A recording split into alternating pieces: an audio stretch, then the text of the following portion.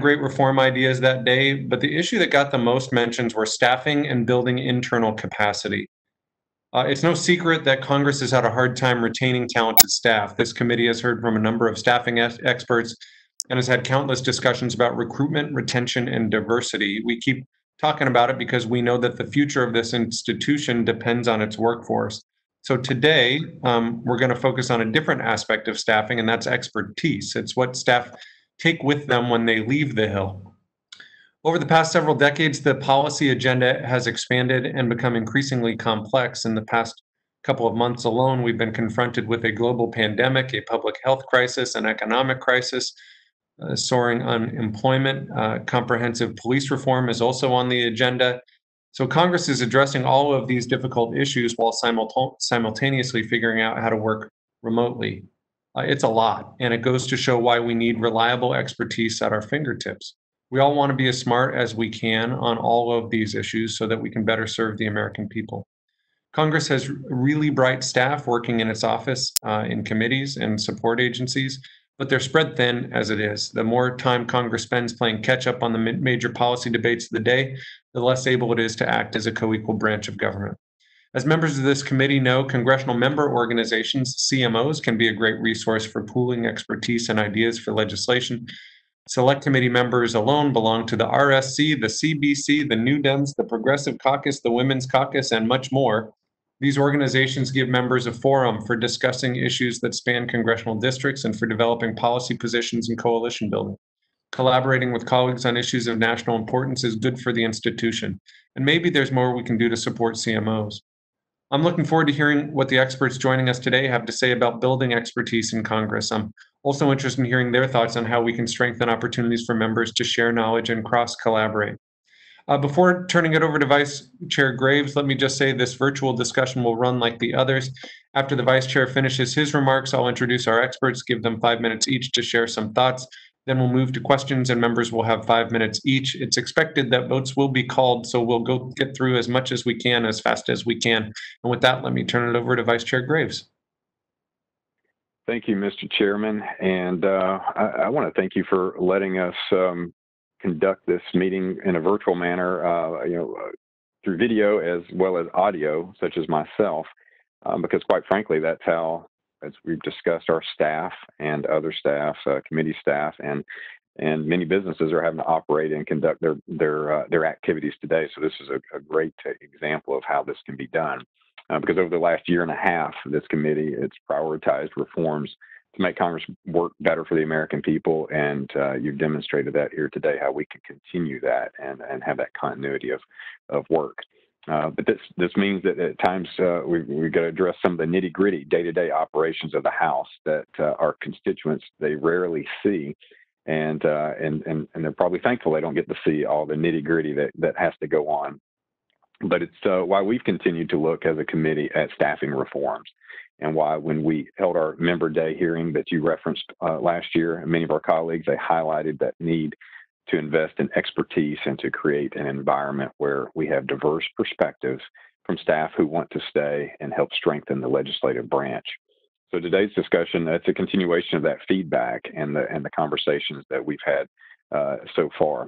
So I know many of us are, uh, are members of groups like the Republican Study Committee or the New Democratic Coalition, among other caucuses within the House of Representatives that contribute strongly uh, strong perspectives and policy ideas uh, to the to our discourse and discussion as we uh, um, uh, conduct our business.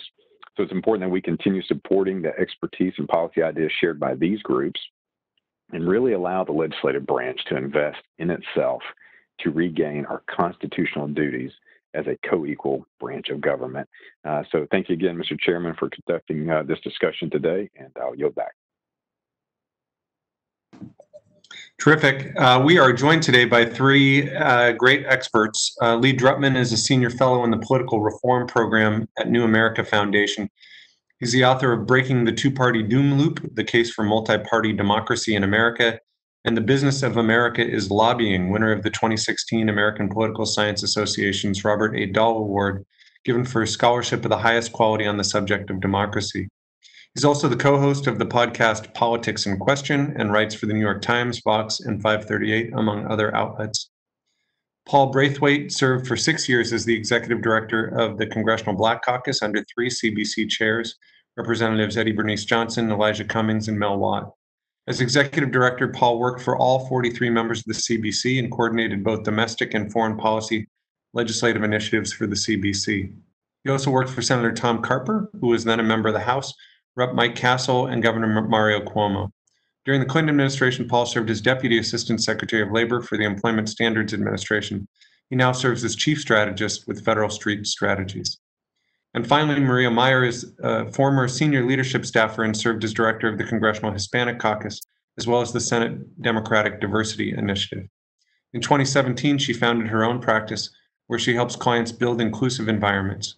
Her newest venture in development, We Are the People, is a community of support and training for underrepresented voices in public service. Over the past decade, Maria has counseled over 1,500 individuals nationally and abroad on career and personal development and has spoken to hundreds of others on issues related to diversity, U.S. politics, and public service. So, with that, uh, Dr. Drutman, you are now recognized for five minutes.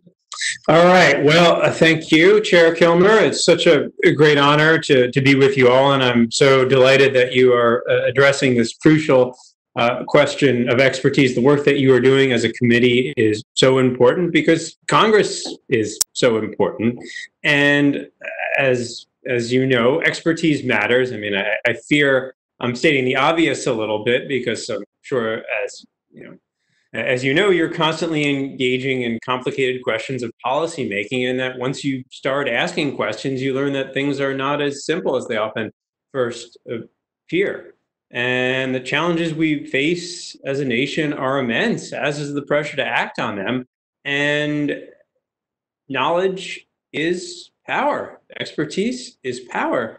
And if you want Congress to have power, Congress has to invest in knowledge because without knowledge, the power is elsewhere. The power is in the hands of the lobbyists who come with their experts and their studies. The uh, power is in the hands of the executive branch and the career bureaucrats who bring expertise and knowledge.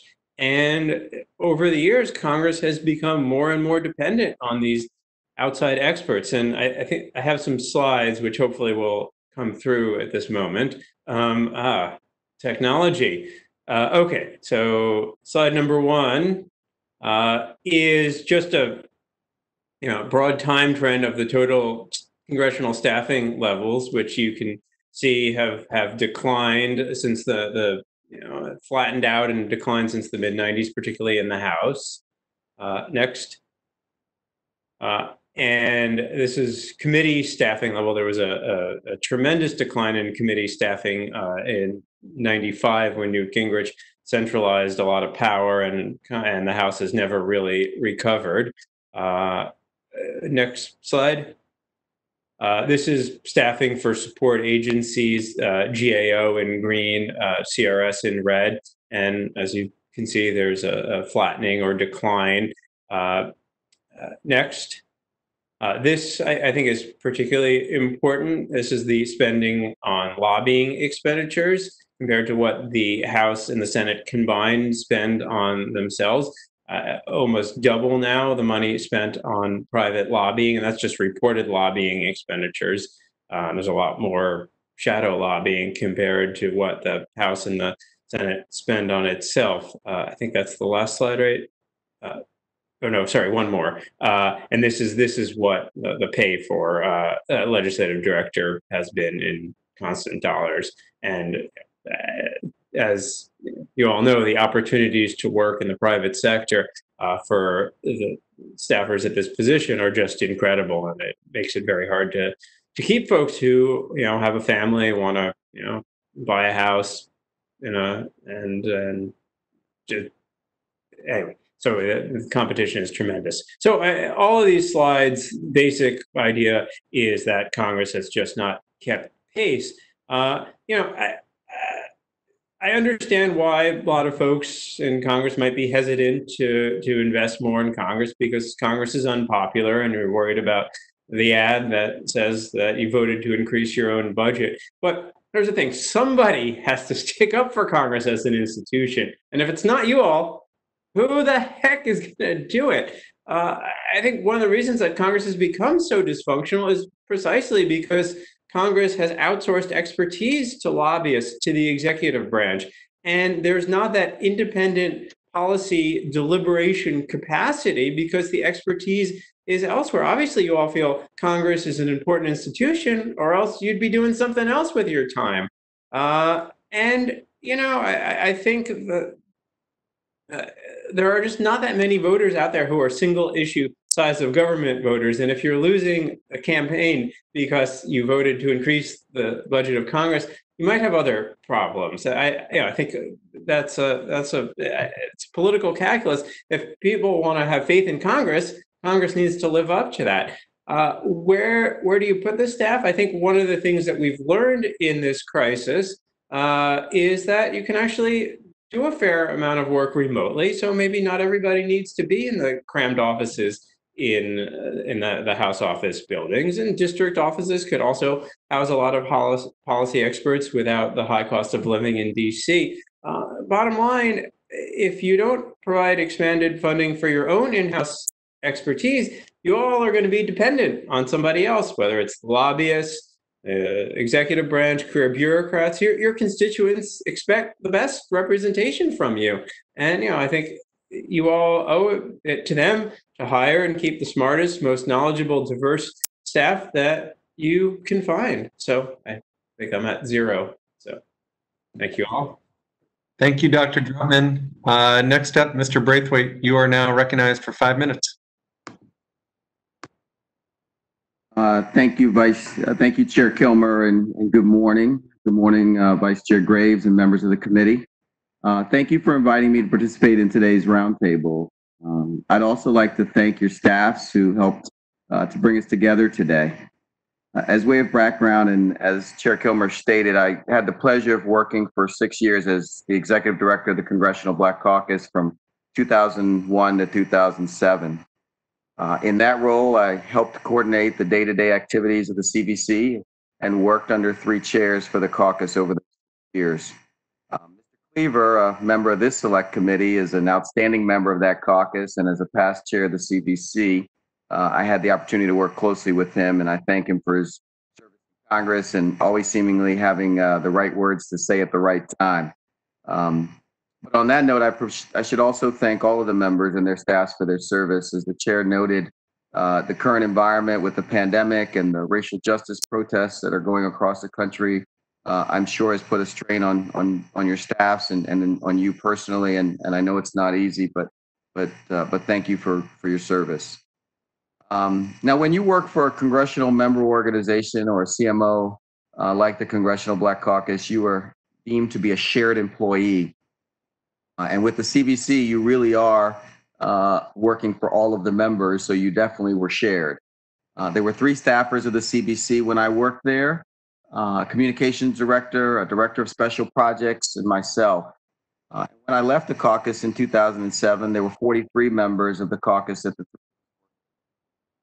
Um, it still remains for me the best job that I've had in Washington from both a professional and personal learning uh, perspective. I wanted to briefly talk about a few areas that I believe can be improved in the operations of the CMOs. As you all likely know, the staff of the CMOs, much like your personal staff and committee staff, play an important role uh, in the workings of Congress.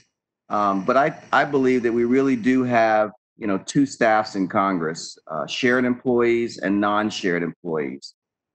And I worked for the CBC. One of my busy, biggest headaches while on the Hill was doing payroll each month for the staff due to the shared employee rules. It literally was the most difficult part of my job. Uh, even if you had a month to month schedule set up with member offices, something would always come up and you'd be scrambling to get on a member's payroll before the deadline each month, which always was the 15th of the month. Um, and as the CBC gained more members of Congress and specifically in the Senate and became bicameral, bicameral uh, there was no practical mechanism for senators to contribute to the salaries and benefits of the caucus that really should be addressed as as some CMOs do have members of the Senate, even not if not formally, uh, informally they are members of, of the organization, and I know would want to contribute. But switching back and forth uh, staff and going on the Senate payroll uh, and then back onto the House just practically is is not is not possible. Office space was also a, a big issue, and and I know office space on the Hill is a premium, uh, but merging the staff, the CMO staff, with the existing personal office staff, uh, with the chair of the CMO, uh, was very difficult. I mean, they, the chair has to provide office space, office equipment uh, for the new staff in a very limited office space. So having dedicated office space for CMO staff would help tremendously. Uh, and it would also get rid of, uh, of, of those staffers having to use intern desks for the extra employees when you merge in with the personal office staff, given the, given the tight quarter. Um, and really to recruit and attract the best talent uh, to CMOs, you know, the logistical aspects of working for a CMO need to be on par with if you worked for a member uh, in their personal office or if you worked on the committee staff. Uh, opportunities to travel to member districts or to policy events were not readily available for CMO staff because it was always a question of who was going to pay for it. Most of that always fell to the chair. Uh, but those exposures, those professional opportunities allow staff to gain expertise and to gain hands-on experience. Um, uh, you know, having a dedicated budget uh, to, to do those things would make it, you know, much more feasible for, for staff to be able to, to do the work that they do. So having a budget that included salaries and travel and student loans uh, would always, would, would, would, would alleviate uh, those challenges. Lastly, I think Congress should look at creating incentives to, to retain the staff in successive Congresses. You know, hiring a staff for just two years does not allow the staff enough time to gather and gain institutional uh, knowledge. Uh, among the most memorable experiences for me was was the weekly lunches. I mean, we were given the opportunity to prepare policy proposals and legislative ideas and organize meetings with cabinet officials. So really important stuff uh, uh, that we were able to do with organized CODELs. But uh, in conclusion, I just want uh, to, to underline that you know the improvements that could be made in the that I've outlined are, are really would be helpful for staff and you know, I know the hard part is is figuring out where the disagreements are and working through those. So hopefully, in the next Congress, some of these ideas can be put into practice and and taken up uh, as the Congress uh, as the Congress starts. Thank you again for the opportunity to participate today, and I look forward to answering your questions uh, that you might have for me. Thank you, Mr. Brathwaite. Uh, finally, Ms. Meier, you are now recognized for five minutes. Thank you and good morning, Chair Kilmer, Vice Chair Graves, members of the committee. Thank you for the opportunity to participate in today's discussion on building internal expertise in Congress. To begin, I'd like to align myself with the comments of the previous two speakers, and I will add my perspective as a former Hill staffer, as you heard in my bio, who served in uh, leadership positions in both the House and the Senate, and also as someone who has continued to dedicate her profession towards the ideals while I held on the Hill. And those are that I really believe our democracy is stronger when it's fully inclusive and reflective of the people it represents. In addition, I truly believe that our democratic institutions deserve the best and the brightest. Therefore, we need to invest in and develop the talent of those who would commit themselves to public service. Like Mr. Brathwaite, I was an executive director of a congressional member organization, in my case, the Congressional Hispanic Caucus. And it's this experience that brings me here today to speak out in support of integrating CMOs more fully within the official structure of the Congress. And that's not to further any one agenda, but to better serve the American people. CMOs are an important vehicle for engaging more Americans in the workings of Congress especially those who might not engage directly with their individual members. At a time when dissatisfaction, dissatisfaction with Congress is at an all time high, we need to find ways to engage our voters in the workings of what you are doing on a daily basis. I know that people say all politics is local, but sometimes we do need to bump issues to a national stage to understand the impacts and see the results of what you are doing in Congress. CMOs can and do speak to and for communities that are not limited by congressional districts or state boundaries. They can and do provide a deeper level of expertise on issues that impact policy and legislation that affect large segments of the American population. In addition, by fully integrating these offices within Congress, they'll be allowed to participate in important programs that personal offices do, such as the one that provides funds to pay congressional interns. By doing so, you're creating pathways for future staffers and maybe even a future member of Congress. As your committee addresses the wide range of issues that impact how Congress functions, I will also encourage you to look at how you invest in your greatest resource, your staff. My last job on the Hill, as you heard, was directing the Senate Democratic Diversity Initiative. It was an office that was created under the direction of the former Senate Democratic leader, Harry Reid. We were charged with assisting Senate offices to increase their staff diversity. During my nearly six year tenure there, I also worked with House offices and created some professional development training sessions where I saw a need. It was there that I regularly saw the impact that current policies on staffing had on retaining talent, as well as the impact it had on the critical goal of developing a more diverse and inclusive workforce in Congress. We know that being able to recruit talent is only part of the HR formula.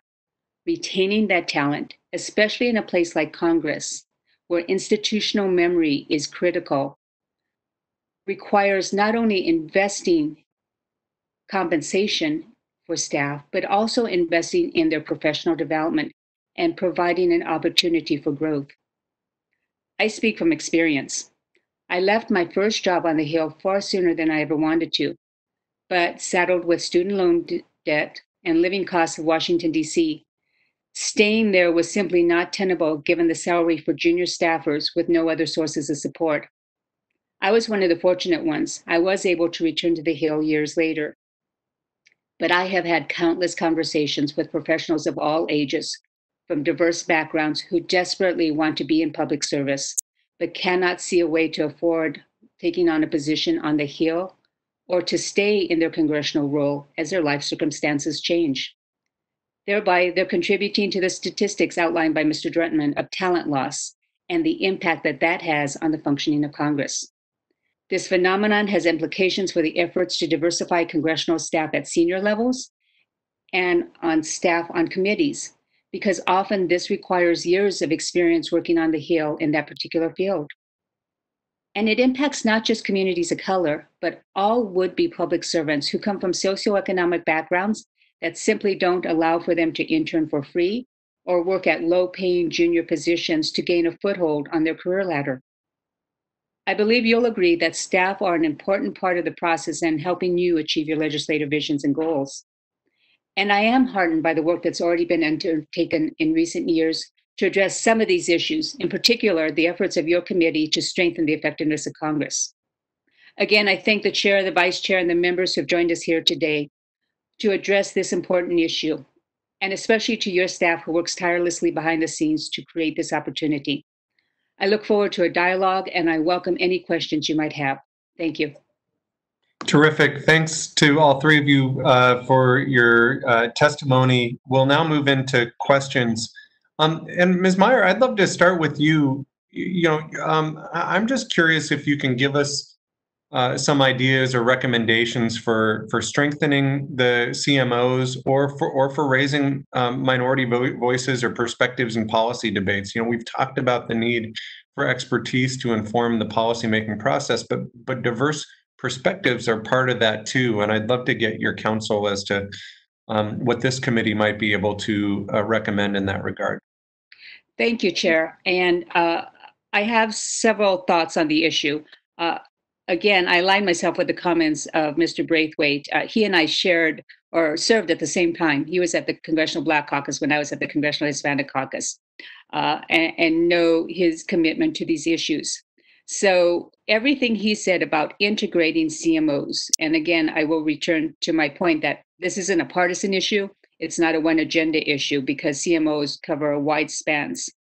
But the fact that staff there is, or senior staff is so consumed with administrative issues like making payroll because you have to move three people onto 20 different payrolls every single month.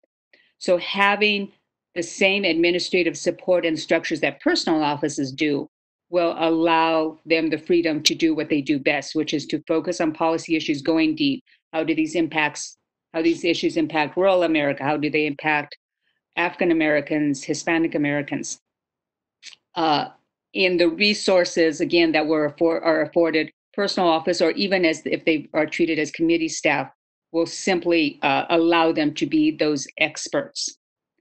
In terms of how you create an inclusive environment at all levels, I think today's meeting is a perfect example.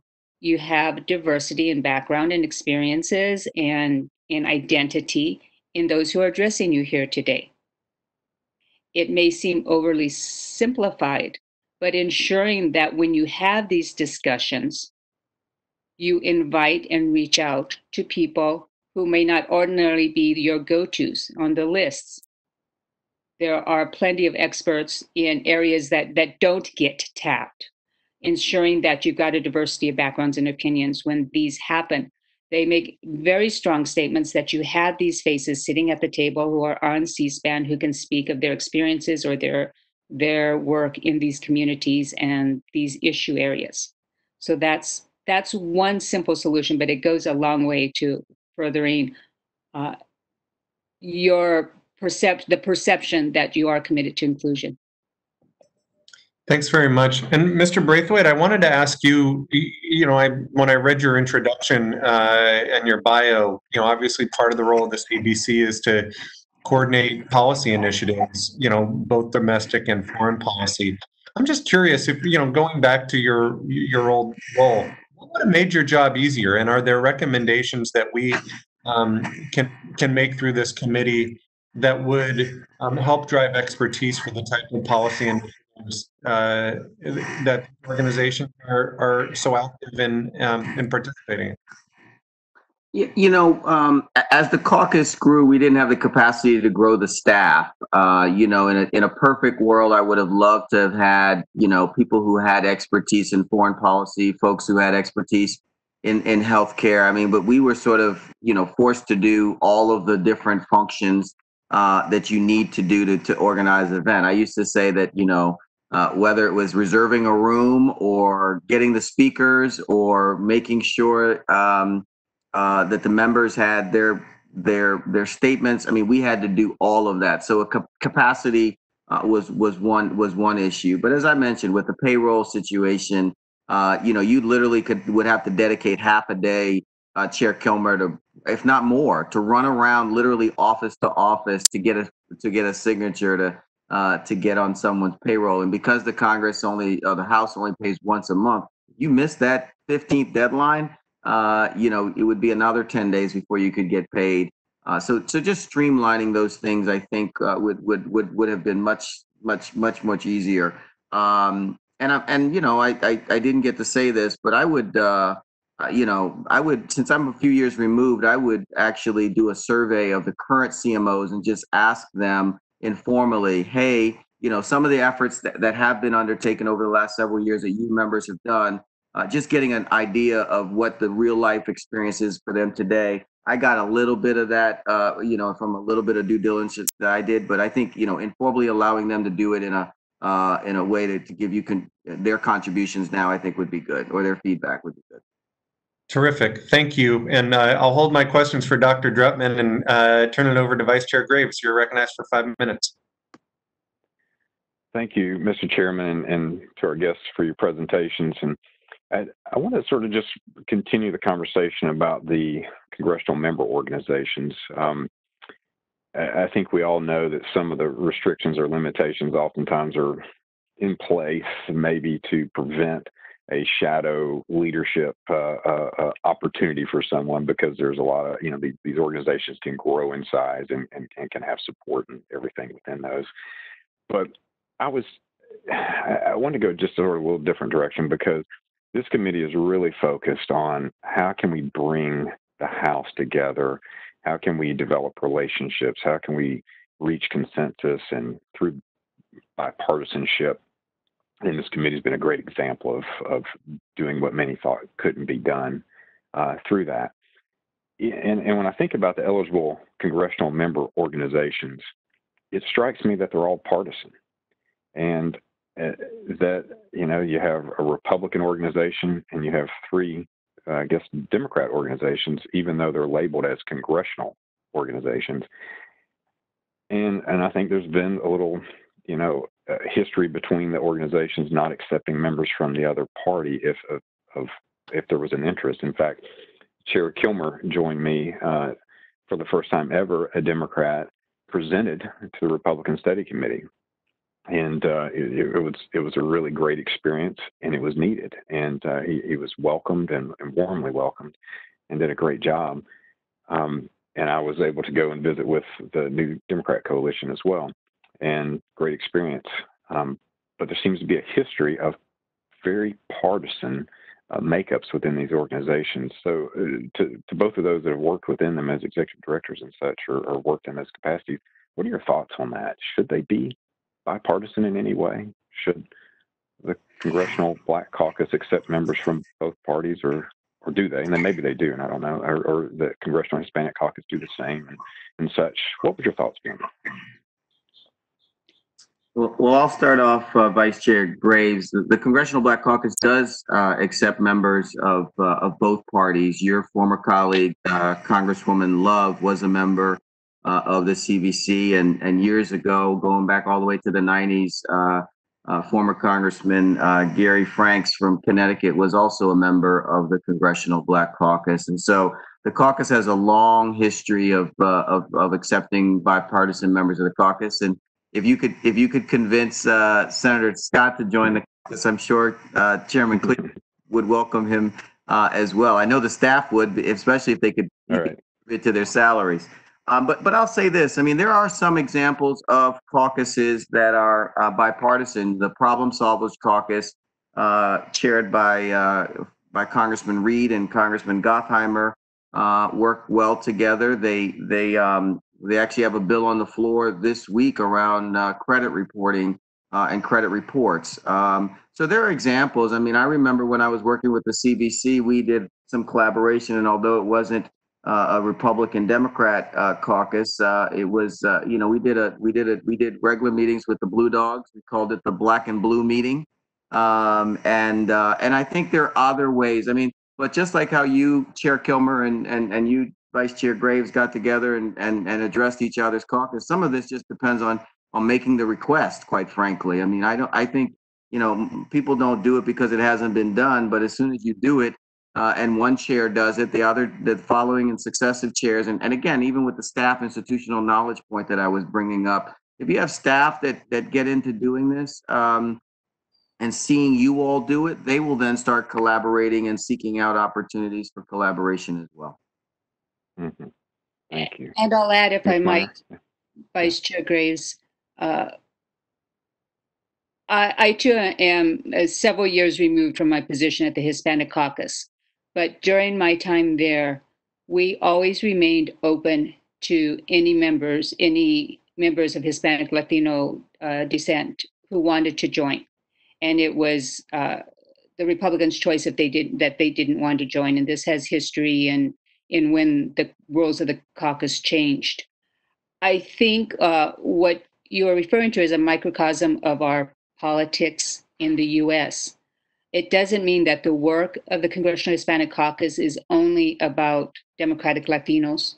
It is about Latinos, Hispanics in the US and the issues that, that impact them, legislation that impacts them, the lens through which they approach public policy and that is expansive, regardless of their political leanings or background. Uh, I absolutely do believe if you go forward and institutionalize congressional member organizations, that they do be bipartisan or open to any members and not limited to that. Otherwise, they become a political entity. But uh, the solutions are to allow them to focus on the issues of the communities, and I think uh, they, the members themselves, will agree they're not limited to to one party.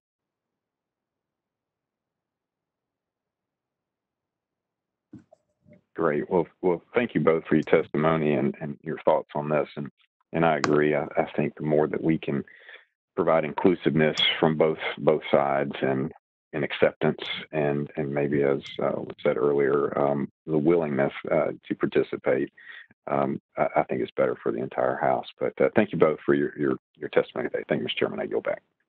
Thanks, Vice Chair Graves. Uh, next up, Chairperson Lofgren.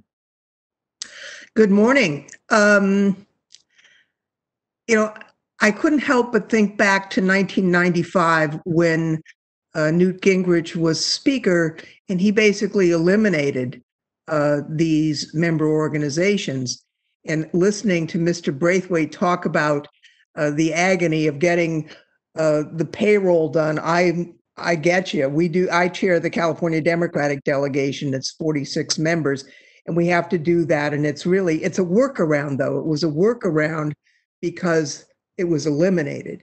And I'm glad that the workaround worked because there is tremendous value in some of these member organizations. I mean, the CBC and the CHC play invaluable roles in Congress and for the country. So the, the tension is how do you support that, but understand that really the the the transparency of the Congress itself is more in the committee structure than in the member organization. So there's always going to be a tension between the committee structure and all the rules that require transparency. Uh, a lot of the member organizations have outside groups that provide funding or they're affiliated with. That is quite valuable, but it's not, it's it's contraindicated in terms of the committee structure. So it's a tension that works, I think. And the question is how to support that without eliminating the tension that actually serves the country pretty well. So I don't know if you have thoughts on that, Mr. Brathwaite. You've you've been through this a long time.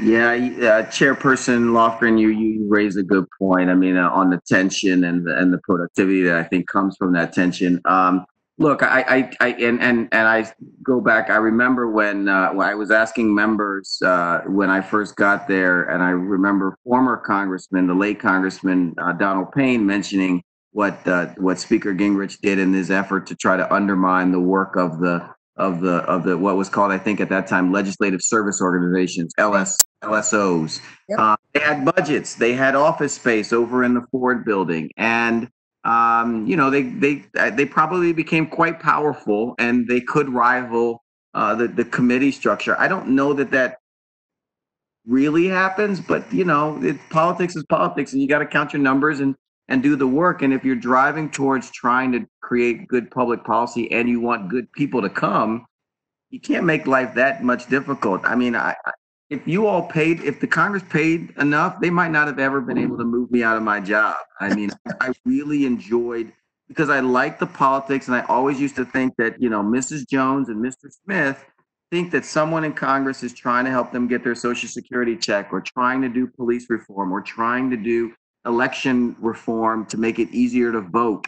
Um, um, you know, and so I love the aspect of doing that. But you know, if you make it difficult and you and you as you know as you as you grow your family as you get older, you know, when I'm 30, I can run around and do all the gathering of those signatures. When I'm when I'm 10 years post that, you're like, why am I still having to do this? So it's that kind of burden that I think could easily be eliminated or alleviated, maybe not eliminated, but alleviated by just having some, you know, here's your budget, all the members, you know, whether you have three or two or one uh, employees. I mean, I think it's arbitrary, but if you are a caucus and you're doing work, set the rules, create an audit function.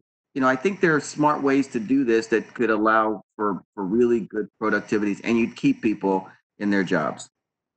I'll, I'll just listening to Mr. Graves and, and, and the chair on the um, you know, the nonpartisan groups. They're very few. And I think that really reflects that on many issues, there is an actual division between the views of the parties on a number of issues. I mean, not every issue, but many issues. And I think that's reflected in the groups that that organize. I was thinking back to the time I was invited to uh, present to the uh, Freedom, the Liberty Caucus, which is a little bit r- to the right of the Freedom Caucus. And it was on um, NSA surveillance issues because we had a left right effort on Fourth Amendment issues. We have a Fourth Amendment caucus that is bipartisan, and there is bipartisan agreement on those issues. But on many, there just are disagreements among the parties. And I think it's reflected by the member organizations. So and that's not necessarily wrong. I mean, uh, you know, we have competing ideas. uh, about how best to address the challenges that face the country in some areas, not every. And we uh, we present those competing ideas to the American public uh, to choose the future they want to move forward. So, uh, you know, I love working in a bipartisan way. One of the members of this committee was my main partner on the Farm Worker Modernization Act. You know, people said we could never do a bipartisan uh, bill for immigration in farm labor, but we did, and it was a wonderful experience. But uh, you know, we have to be willing to work, but there has to be agreement. And so, on many of these issues, there there really isn't. So, I would yield back, Mr. Chairman. I think I've used up more than my time. Thanks. Well, Thanks so much. Uh, Next up, Representative Brooks.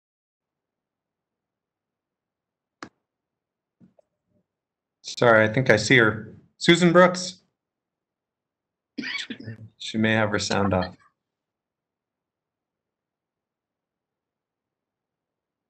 We'll give it one more try. Congresswoman Brooks? Let me just text her.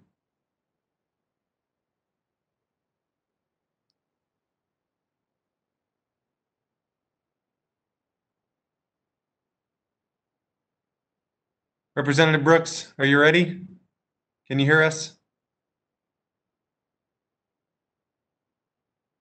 Oops. Looks like a bad connection. Uh, let me go on. We'll come back to her. Uh, Mr. Newhouse.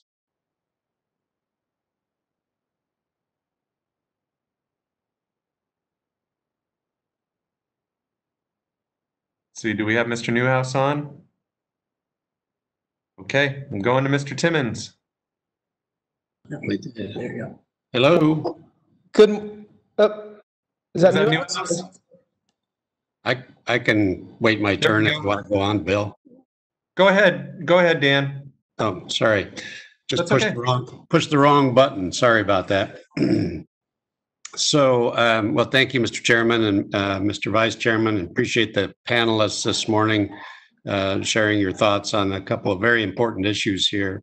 Um, now I made my screen disappear that showed the names, but our first, uh, Dr. Dr- Dr- Drotman, Drutman, yes. Dr- okay, appreciate that. Thank you. Thank you.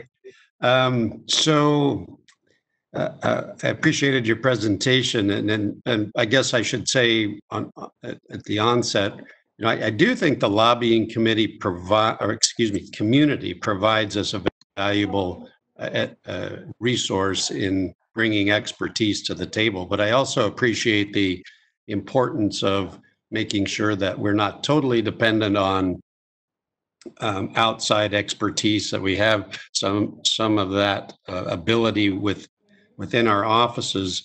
So in, in that re, in that light, um, looking at the graphs that you presented to us, I think it it shows that the uh, policy staffing levels um, in the I think it was in the 1970s increased quite a, quite dramatically, maybe almost in the neighborhood of tripling.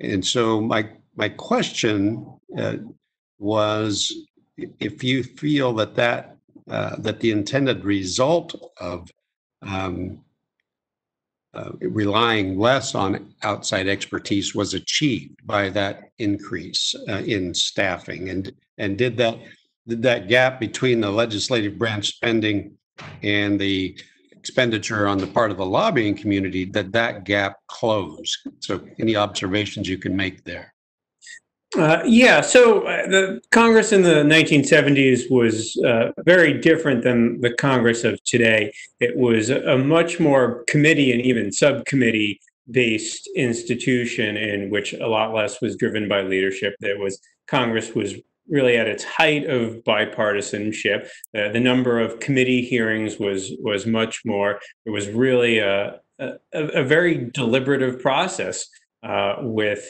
a lot of members working together across the aisles uh, and committees having real expertise to develop real uh, legislation. I mean, you look at something like uh, like airline deregulation, you know, which was a major uh, major, I think, achievement of Congress in that era, 1978, and that was really the process of a, of a long, the result of a, a very long deliberative committee process driven by staffers uh, who you know, were really, really top-notch experts. You know, even into the 80s, I think a lot of folks think back on the 1986 tax reform bill as kind of a high point of uh, bipartisan congressional work.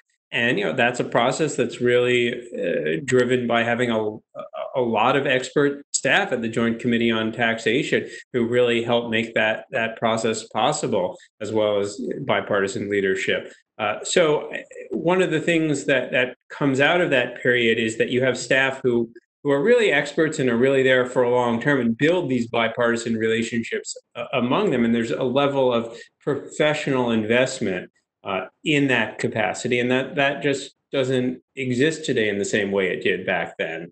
Uh, and you know, I, I, I certainly agree with you that lobbyists do provide a lot of valuable expertise. Uh, but the, I think the challenge is that all of that expertise uh, comes in with a particular agenda. And one of the challenges for staffers and members is knowing what's BS and what's not and uh, that's that's something that that requires expertise uh, and requires knowing who you can trust and and who's blowing smoke up your rear end.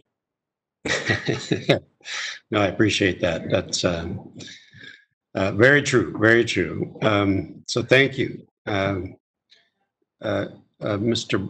Uh, Braith- Brathwaite. Um, I think it's valuable for us to um, you know if you if you forget history what's the saying you're doomed to repeat it right so if we look, if we look back in the 1990s when the lsos were abolished um, in favor of going to the cmos um, could, could we is there a simple answer to the question as to why that happened uh, is there a reason that we should be aware of so that we don't make the same mistake twice perhaps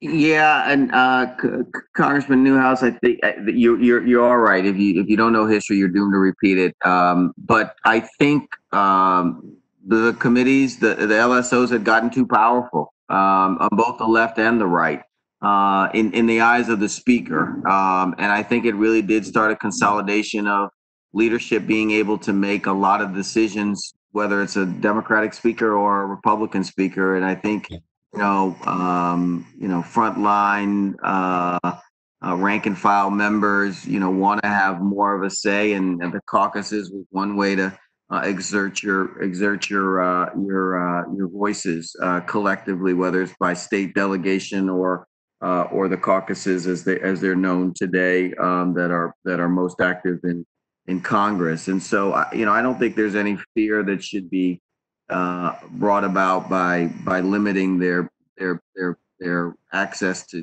to have good staff. Uh, you know, I think in an open democracy process, we should we should welcome that. Okay, I appreciate that. Maybe that's the lesson that we went uh, maybe too far to the uh, top-down approach, too much too much power in the uh, uh, in leadership. So um, anyway, well, I appreciate the uh, uh, your value, all of your valuable contributions to this conversation, and uh, I look forward to continuing that even after our meeting today. So, thank you, Mr. Chairman, and uh, appreciate the the time, and I'll you yield back. Thanks very much, Mr. Newhouse. I am conscious that votes were just called, um, and we have three members who are in Group One who have all stepped away to go do that. Um, I'm inclined to keep rolling, which would um, put uh, Mr. Timmons into the batter's box since our other three are uh, are um, away voting. I don't think I see Cleaver on. Just checking. Yeah, I believe he went to go vote as well. So, uh, Mr. Timmons. Thank you, Mr. Chairman. Um, Mr. Drutman, I appreciate um, the, the the letter that you're speaking about regarding the additional 500 million dollars for the um, legislative branch's budget. Could you talk about where how that money you think would be best spent if it was uh, approved and additional 10% was spent? Uh, absolutely. I, I mean, I would recommend investing it in committees uh, because I think that's where you see uh, the, the, the real policy expertise being developed. Um, you know, I think we, we've had a discussion about CMOs, and I think certainly they provide a great opportunity uh, for developing expertise. And you know, one one one thing that you could think about it. I know some of you are concerned about that these uh, CMOs are not always bipartisan, that you, know, you, could think about ways in which to encourage bipartisanship by allocating extra funds for CMOs that meet a certain standard of bipartisan membership, if that's if that's a concern. But I, I think the, you know, the the real real need for Congress is to develop long-term expertise, and probably the best place to do that is in the committees. So that would be my recommendation. So, you know, 10% increase sounds sounds great. My question is, are we missing the mark here? I mean, in my mind, if you go back to 1995 and the members of Congress proactively deny themselves a, a cost of living adjustment, and the, the, the legislative branch has uh, thus been impeded by our ability to pay staff because if we hadn't continually denied that cost of living adjustment, I think member salary would be 220 something, 230. And um, then our chiefs would make more, our LDs would make more, our staff would make more because we wouldn't have 1.3, 1.4 million dollars in our MRA. It would probably be more like 1.8, 1.9. So, um, and obviously that's not a 10% increase in the legislative budget. That would be like a, a very large increase in the legislative budget. So I mean, is 10%, are we just kind of nibbling around the edges or do we have a more systemic problem? I mean, you know, if I, think you're absolutely right that 10% is, is small potatoes. And, you know, if you're going to do it, you know, why, why not, why not go big, right? I mean, it, I, think I, you know, I think if, if you doubled the budget, uh, that would that would be a tremendous impact. And you know, I think it's important to put put all this in context, right? And the federal budget is 4.8 trillion. That's trillion with a T. Legislative appropriations, and which includes the architect of the Capitol and security, is just under four billion. So that's 0.08 percent of the federal budget for uh, uh, legislative appropriations. Or put another way, 99.92% of the federal budget goes elsewhere. And you know, even if you're concerned about government spending, actually having better oversight of the executive branch could actually save taxpayers money. Just saw a headline uh, that the GAO found that the Treasury Department was sending, you know, stimulus checks to dead people, and that you know that's that's oversight. Uh, and the more you invest in that oversight, you actually wind up saving taxpayers money, I think. So I, I think it's a tremendous investment. It's a tremendous value. And, you know, uh, if, if people are unhappy with, with Congress and, you know, the only way to make support for Congress greater is to invest in a Congress that delivers more results for the American people. So I, yeah, it, if you're going to go big, if you're going to increase the budget, I say double it. Why not? Well, I, I tend to think the 10% is insufficient. I think, um, given the, the, the severity of our uh, decision making for the next really two two Congresses. I mean, we're not going to do anything between now and November because of the election, but after the election, I, I think that we need to really look hard at, at this issue because um, we got $30 trillion worth of debt. We're going to have to have substantial cuts. We're going to have to do some pretty painful things. And we need to invest in the, the people that will be responsible for those decisions. And um, we need to make sure that we have the best people looking at this issue. Um, so I, I, really do. I appreciate, uh, Mr. Chairman, you hosting this uh, conversation. And I um, hope that we can find a way to appropriately fund the legislative branch because the work we're doing here in the next few years could make or break uh, our country. So um, I, I, appreciate it, and I look forward to having this conversation further. And with that, I yield back. Thank you. Absolutely. Thanks very much. I am just looking to um, see if any of our three who were in round one of voting are back on. It does not appear so. So I'm going to invite um, if uh, any of my colleagues who've already had a, a, round of questions, if they would like to um, uh, uh, ask a question, um, feel free to chime in. I, I do have another for, for Mr. Drutman. You know, I, I'd like to explore the idea of virtual workspace spaces for additional staff. I, I think that's probably something we didn't really think about or, or consider um, pre-COVID, but it does seem to make sense given the limited physical workspace on the Hill. Any downsides to that model that we should be considering? Um, uh, you know, obviously we wouldn't have to provide office space for those employees, but we would still have to pay them. Um, you know, how do we how do we sell that? And uh, and you know, while you're at it, any other kind of additional out of the box ideas for building capacity, things we haven't thought of or talked about? Well, you know, I, I do think that you know we we've learned in this uh, pandemic crisis that people can actually be productive working from remote locations. And you know, I'm certainly not not an expert on remote work, but you know, I, I do think that there's there there's value, tremendous value in in in person interactions, but that a lot of work that people do, particularly when it's research oriented, can be done uh, remotely. You know, in terms of uh, out of the box thinking, you know. there, there's a tremendous untapped resource in almost every congressional district and that is universities. Uh, and I, you know, I think there are a lot of people in public policy schools, public health schools, uh, in law schools who you know would be thrilled to provide some of their time to help members of Congress and help uh, the, the American people uh, you know, think through some some really complicated issues and bring tremendous expertise that is you know as as close as you get to, independent and you know have have ties to to uh, uh, communities where where you know where the universities are. So i think those are those are certainly ideas that that are you know I mean, there were there were some ideas in in the uh, the APSA report, uh, which I know you all discussed last week with uh, uh Professor Ruth Bloch Rubin, uh, who was on the the uh, subcommittee, the APSA subcommittee that I chaired on on staffing. Uh, you know, investing more in the, uh, the CRS and the GAO, and you know, perhaps thinking about some some in-house think tanks that could provide nonpartisan expertise for Congress, sort of in the the model of the the long long lost Office of Technology Assessment, which is perpetually uh, discussed bringing back in in some being brought back in some form. Uh, but at the end of the day, there I think there's no substitute for just Congress spending money on itself.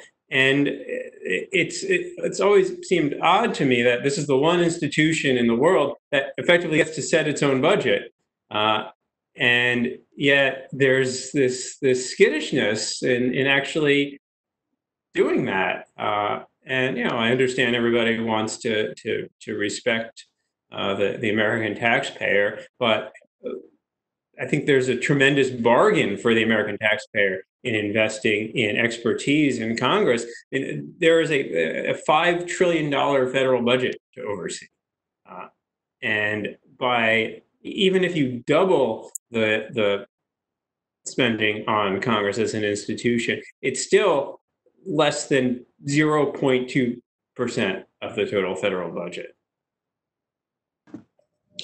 Thank you. Um, Chairperson Lofgren or uh, Mr. Newhouse, do either of you have any additional questions?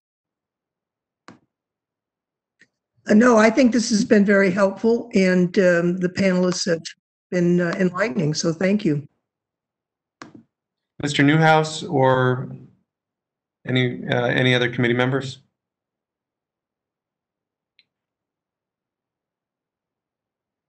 Okay.